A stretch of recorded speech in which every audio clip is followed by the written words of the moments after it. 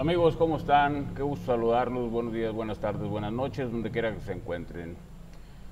Hace días el presidente José María Aznar, o el expresidente José María Aznar de España, ironizó acerca de la cuestión de que Andrés Manuel López Obrador le pide a España que le pida perdón a México por lo que sucedió en el tiempo de la conquista y las atrocidades que se cometieron en contra de los pueblos indígenas de este continente.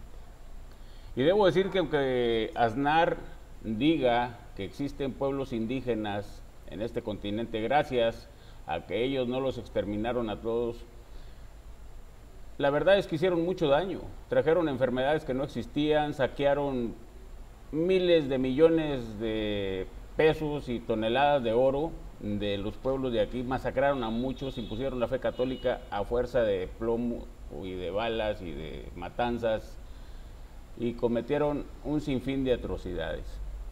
Pero está bien, eso quedó en el pasado. Sin embargo, quiero decirles que aunque yo no estoy de acuerdo con la postura de López Obrador en ningún sentido, ni cómo gobierna, ni cómo se expresa, ni mucho menos. No voté por él, nunca lo he hecho y siempre he estado en contra de su filosofía, sus ideas y su manera de actuar. No defiendo a Andrés Manuel, pero sí defiendo al pueblo de México, a México y a los pueblos aborígenes de este continente. Y debo decir que están muy equivocados Aznar y las gentes que están ahí al estar uno hablando y los otros aplaudiendo como borregos y les voy a decir por qué. Simplemente hablan de los incas y los incas no están en México, nunca estuvieron. Desde ahí vamos a decir que están mal. Y el hecho de decir que Andrés Manuel es Andrés gracias a los mayas y Manuel gracias a los aztecas, a mí se me hace una falta de respeto para los descendientes de esas etnias nativas de este país y de parte del continente, de Centroamérica sobre todo, incluso de los incas que están en Perú y Sudamérica. Entonces, partiendo de esa base, voy a comenzar el video para hacer algunas precisiones conforme este avance. Vamos a comenzar. Todos los respetos, 200 aniversario de la independencia de México. Enhorabuena. Y ahora me cambia usted toda la cosa y dice usted que España tiene que pedir perdón. ¿Y usted cómo se llama? Dígame usted cómo se llama, por favor. Yo me llamo Andrés Manuel López Obrador. Escucha.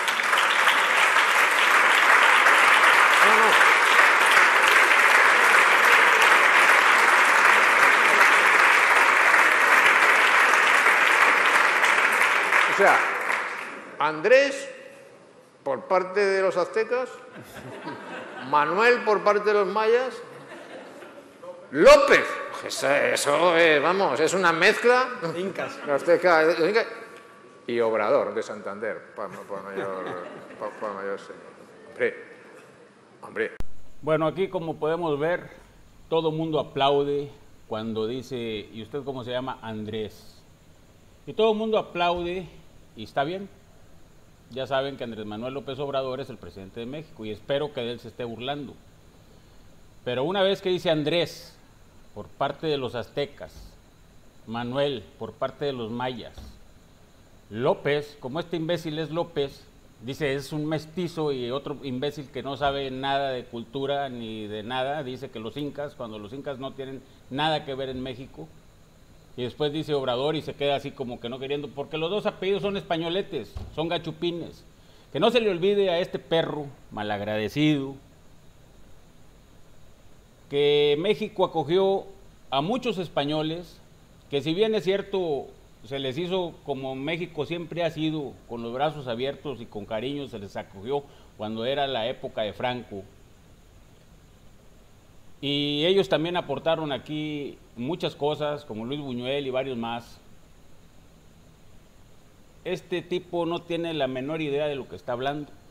Al querer burlarse de Andrés Manuel López Obrador, se lleva en su discurso a los pueblos indígenas latinoamericanos, porque agarra desde los incas hasta los mayas, los aztecas, le faltaron los olmecas, chichimecas, tarahumaras y muchos más. Yo pienso que si va a ser una burla y si va a atacar a alguien, no puede dirigirse a los pueblos, que no sea estúpido ni sea un pendejo, porque cae al mismo nivel de ese cabrón. Yo no puedo decir que los españoles son igual de pendejos que este que tuvieron de presidente, porque no lo son. Aquí ha habido españoles muy valiosos, como les vuelvo a repetir, el cineasta Luis Buñuel y muchos más que se me escapan a la memoria. Y México lo recibió con los brazos abiertos. Y sí, efectivamente, cuando ellos vinieron a conquistar, hicieron un desmadre, trajeron plagas, enfermedades, hicieron genocidios y pusieron la fe a base de chingazos, que no mame. Es que, es que si no hubiesen pasado algunas cosas, perdone, usted no estaría ahí. En esta época en la que se pide perdón por todo, yo no voy a engrosar las filas de los que piden perdón. No lo voy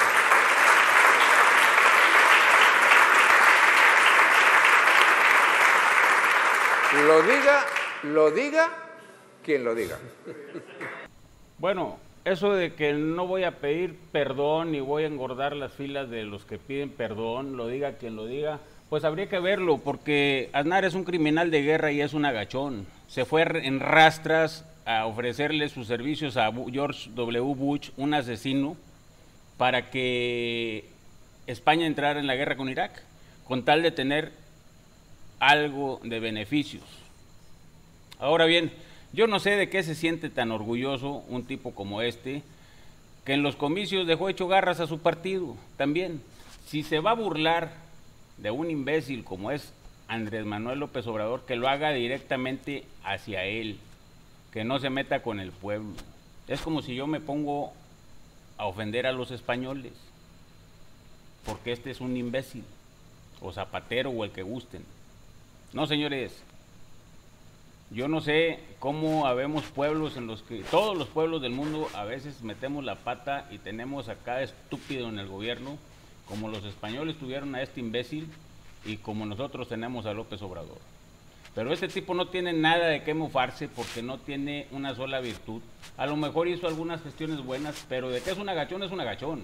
Porque si Joe Biden le hubiera dicho algo, estuviera negociando o simplemente no hace este tipo de declaraciones y que no diga que los anglosajones mataron a todos, porque en Estados Unidos, por ejemplo, hay reservas, India sí, en todos lados se cometieron tropelías. Nada más que a nosotros nos conquistaron los españoles, y no a nosotros, conquistaron a, a los pueblos originarios, porque ahora nos conquistan pura chingada, por ejemplo. Ya no somos los vecinos pobres de aquel entonces ni tampoco somos los ricos, pero ya la situación ha cambiado. Entonces yo considero que todos esos que están ahí aplaudiéndole por cada pendejada que dice, son una bola de borregos adoctrinados que no sirven para nada, lamiéndole los zapatos a un expresidente nomás por estar en el foro y con un reflector encima. Lo diga quien lo diga. Por defender la nación española, por defender la importancia histórica de la nación española, por defender las creaciones históricas de la nación española, por defender la historia de España con sus claros y con sus oscuros, con sus aciertos y con sus errores, yo estoy dispuesto a sentirme muy orgulloso, pero no voy a pedir perdón. Pues vaya que tiene bien arraigado un gran pecado capital, que es el primero de los siete, que es el orgullo. Porque debería de pedir perdón por ser un inepto, para tener a raya el terrorismo, recordemos lo que pasó con el 11S, 11S, el 11 de, marzo allá en, en España, el atentado. Por otro lado, no solamente eso, sino que ha tenido varios tropiezos en el transcurso de su vida, en el transcurso de su carrera. Por ejemplo, la boda que tuvo, que fue un derroche también y que le costó a su partido y su figura política se devaluó mucho. Por lo mismo, que no pida perdón, que siga con su orgullo, porque así son ese tipo de personas, megalómanas, indecentes, rateras y serviles, porque son aprovechados. O sea, es obvio que España, digámosle así, en este momento y siempre ha tenido, digamos, una, un ejército más poderoso, una economía mejor que la de México, pero eso no significa que en México las cosas no hayan cambiado. No significa que pueda venir y querer desprestigiar a los pueblos nativos de este continente o de ningún otro, porque al desprestigiar a estos o al insultar a estos insulta a todos. Lo único que hace ver es que es racista. Y le faltan bolas para decirle directamente a Andrés Manuel López Obrador lo que le tiene que decir. Si tanto le afectó que pidieran perdón y si tanto le se siente ofendido por eso, pues que le hable por teléfono y le diga, o que venga. Pero no, en su afán de figurar sigue con esa pendejada. A nosotros ya hasta se nos había olvidado y jamás hemos tratado que nos pidan perdón. Nos vale madre el perdón de él y de cualquier presidente español.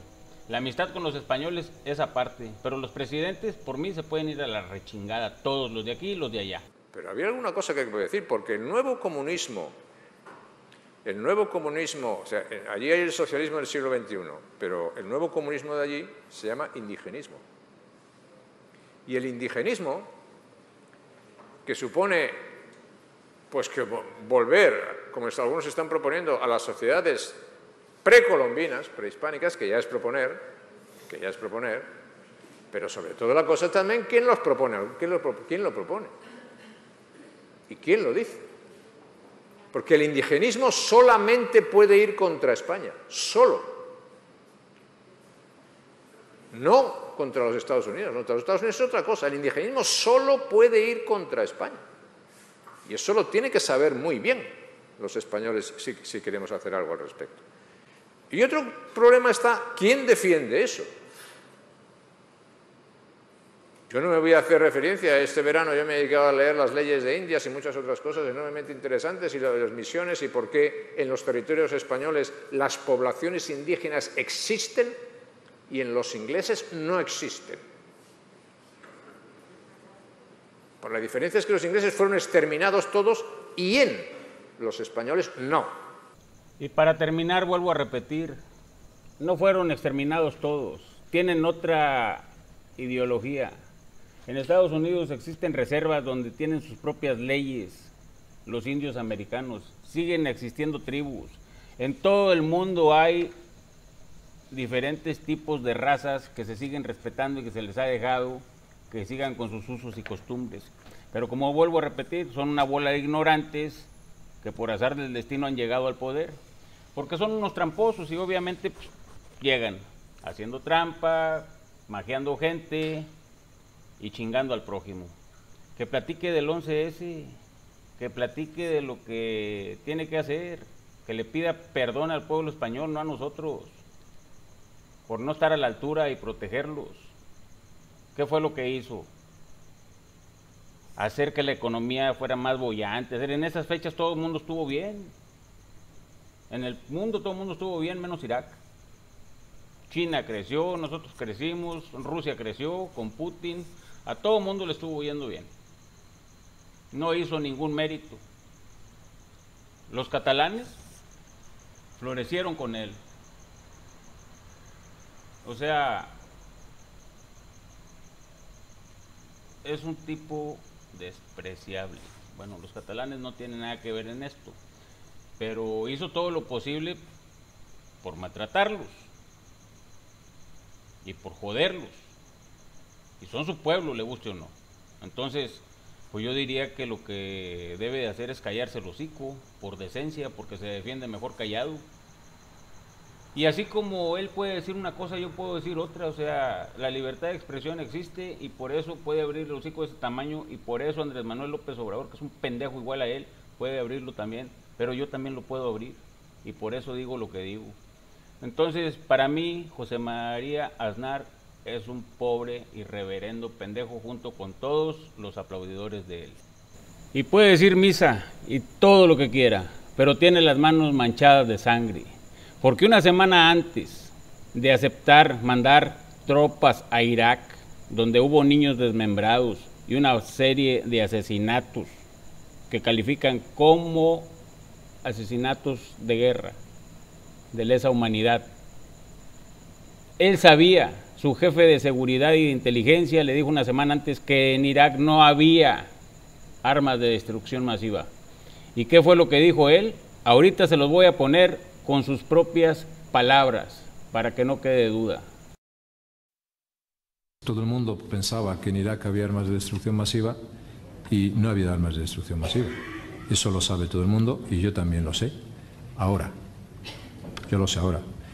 Mm, tengo el problema de no haber sido tan listo, de haberlo sabido mm, antes. Pero es que cuando yo no lo sabía...